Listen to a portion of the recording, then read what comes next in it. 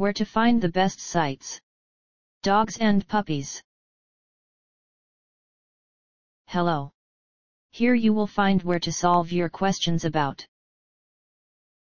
how to train a dog to jump through your arms. These selected resources on the web might help you.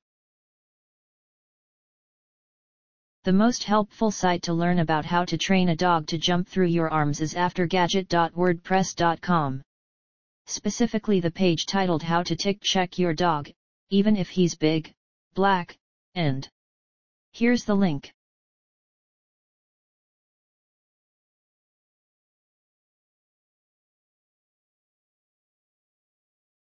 Try also our second ranked site Titans to mock titanstomachmuscles.weebly.com especially the page How to Tighten Your Stomach Muscles, Salad Dressing too.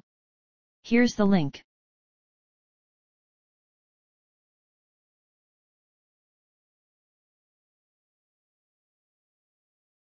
Last but not least, try our third ranked site en.wikipedia.org.